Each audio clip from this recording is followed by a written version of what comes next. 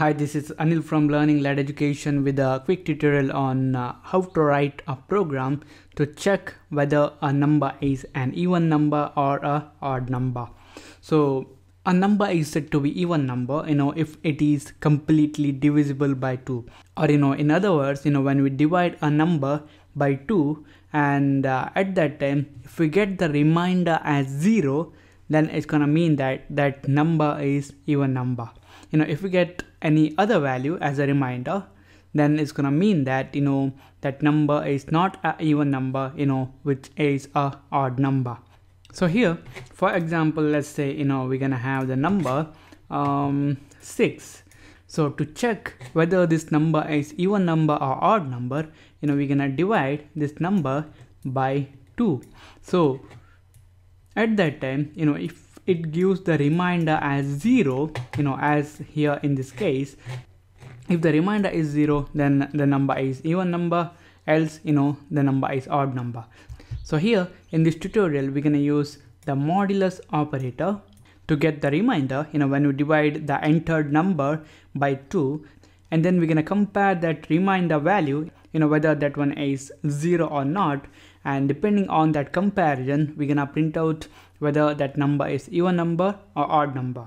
So here uh, what we're gonna do is you know we're gonna ask the user to enter the number and then we're gonna check that number and then you know we're gonna print out the appropriate message. So here we need a variable to store the value entered by the user.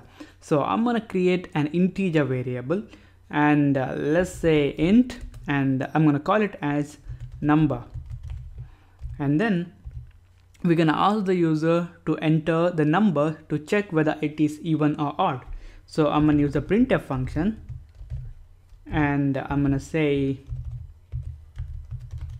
enter the number to check even or odd.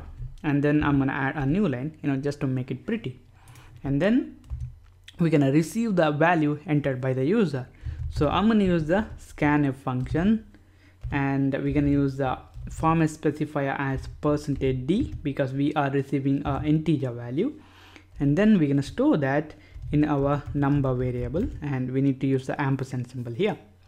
And then the next thing that we're going to do is you're going to use the mod operator to get the reminder you know when we divide the value stored in this number variable by 2 and depending on the outcome of that operation you know we're gonna print out some appropriate message. So I'm gonna use the if statement and I'm gonna write number mod 2 and then uh, let's have a bracket here you know just to um, make it more uh, easy to read.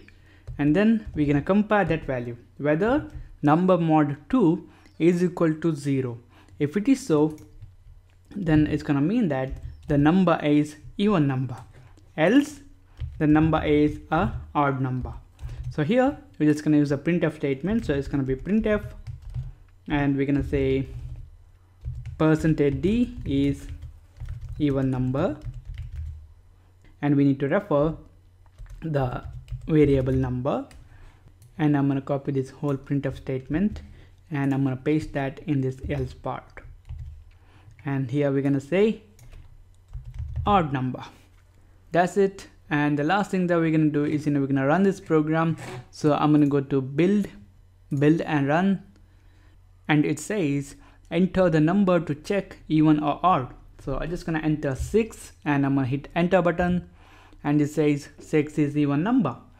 And I'm just gonna run this program again and again you know it says enter the number to check even or odd.